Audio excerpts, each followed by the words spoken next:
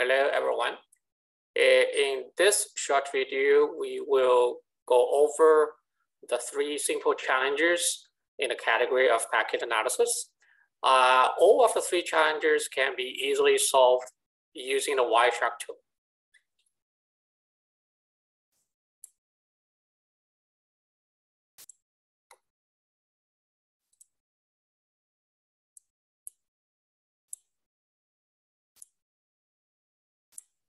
So the first challenge says that there's a PacketCap file um, contained in this folder.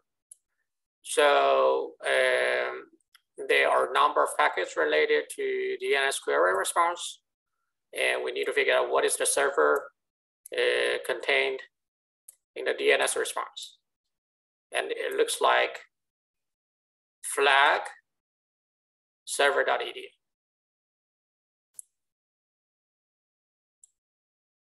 So apparently,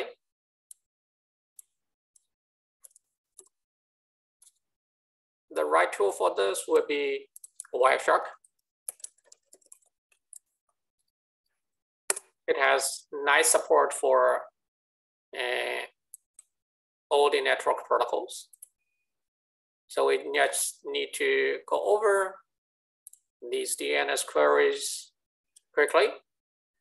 And immediately we figure out that the larger DNS query, well, the larger DNS response um, has the information that we need. So this can be solved in two seconds. Now, let's look at the second challenge. So the second challenge is also about analyzing a packet capture and in this scenario, there is an attacker who tries to perform some kind of um, attack or reconnaissance of the network. So we need to figure out the IP address of the attacker. Let's again switch to Kali Linux.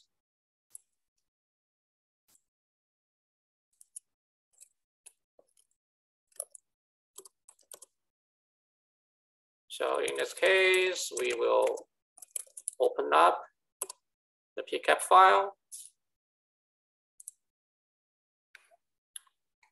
So if we go over all the traces, there are a lot of packets.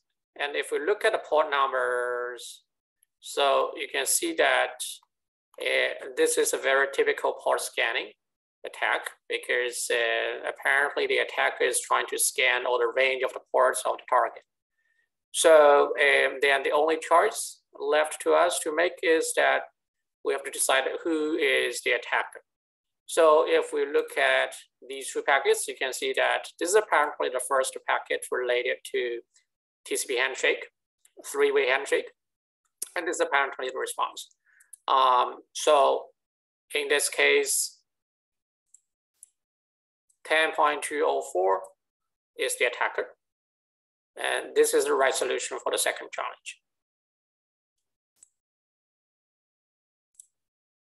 Now, let's look at the next challenge.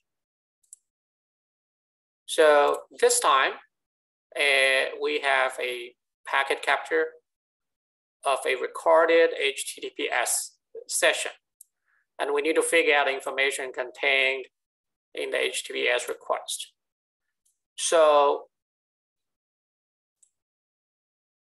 the difficult part of this question is that um, apparently HTTPS is protected by encryption. So the question is that what can we do about it? Now, let's navigate to the challenge folder first. So you might notice that we have a packet capture file, but we also have another file called sslkey.log. So this is apparently a like um, a master private key log generated uh, via the browser uh, when an HTTPS session is generated. So apparently we could attach this information to Wireshark so that Wireshark will be able to take advantage of this key information and uh, decode the packet capture. So how do we feed this information to uh, Wireshark? A simple Google search would get us instructions for doing this.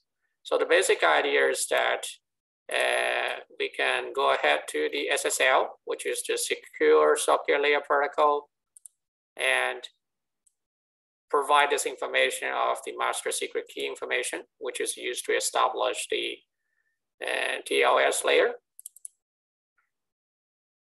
And then once that information is provided, all information can be decrypted apparently. So there are a lot of packages, uh, but uh, we are only interested to socket, uh, secure socket layer related information. And now we have all the information. We just need to look at the HTTP requests. So apparently, this is the information that we are looking for. All right, so in general, the packet analysis category is pretty easy and can be tackled successfully or by freshman level students.